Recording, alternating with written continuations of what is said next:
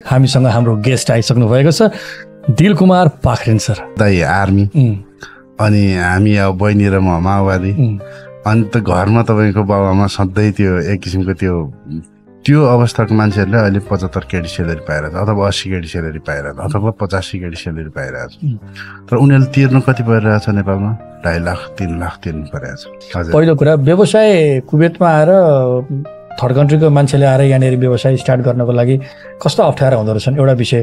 र उताबाट सामान मगाउनको लागि कस्तो अप्ठ्यारो हुँदो रहेछ? दुईवटा विषय। दुई हजार पन्ध्रतिर पन्ध्र सोह्रसम्म तपाईँको नेपाली कार्यक्रम गर्न मनाइ गरेको थियो। नेपाल दूतावासले नै नेपाली कार्यक्रम नगर्नु भनेर निर्देशन जारी गरेको थियो। त्यस्तो पनि अवस्था यहाँ। हजुर।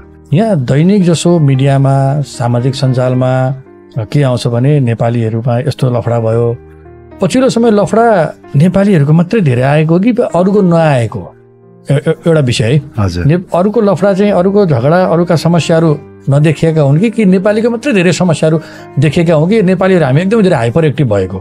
कलम समात्नु पर्ने हातले बन्दुक समाउन सिकाइदियो। अनि अहिले तपाईँको त्यो अनुसारको केही काम भएन। न तपाईँको पाठ्यक्रम पाठ्य सामग्री चेन्ज भयो परिवर्तन भयो। त्यो उनीहरूले बुजुर्ग शिक्षा भने त भनेको त अहिले त कति वर्ष भयो त? बिस पच्चिस वर्ष त भइसक्यो नि। एम्बेसीले काम गरेन भन्छ नि। उनीहरू काम गरिदियो भने चाहिँ अँ ठिक छ भन्ने अनि काम नगरिदियो भने चाहिँ गाली गर्ने हाम्रो चलन छ कि? अब जस्तै एनआरएनए एनसिसी कुवेत मार्फत तपाईँ सक्रिय रूपमा सामाजिक काममा यहाँको यहाँ आएका नेपालीहरूलाई सहजीकरण गर्न समन्वय गर्न अप्ठ्यारोमा सहयोग गर्न लाग्नु त्यसको अलावा त्यत्रो त्यहाँ चाहिँ क्रान्तिकारी एउटा योद्धाकै हिसाबमा समाज परिवर्तनकै लागि लागिरहेको मान्छे यहाँ आइसकेपछि फेरि पार्टीको गतिविधि कुनै हिसाबले संलग्न रहनु भयो या भएन? समस्या त कम्पनीमा नि छ त. तपाईँलाई थाहा छ सबैलाई थाहा छ महाबुल्लामा योभन्दा तिन चार महिना अगाडि पाँचजना नेपाली चेलीहरू बलात्कृत भए. अननोन व्यक्तिबाट तपाईँको नचिनेको व्यक्तिहरूबाट बलात्कृत भए. कम्पनीको त्यो अकोमोडेसनमा गएर बलात्कृत भए त्यो कम्पनीको पनि समस्या त रहेछ कतिजना पन्ध्रजना अठारजना चाहिँ ड्राइभरहरूले काम पाएन भनेर हङ्गामा गरिरहेछन् त्यहाँ पनि समस्या छ.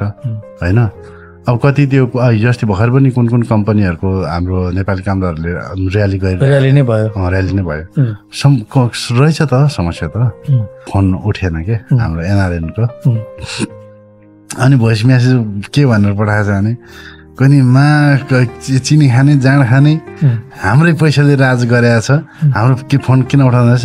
कनि के जति खाते भनेर भोइस म्यासेज गरेछ क्या